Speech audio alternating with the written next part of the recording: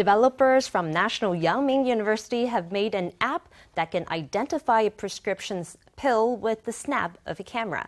It's meant to help patients know exactly what they're taking and what it's for. Simply place the pill in the little black box that attaches to the smartphone's camera. Snap a photo and the app will search for, for a match in its database. The app can identify about 400 frequently prescribed pills.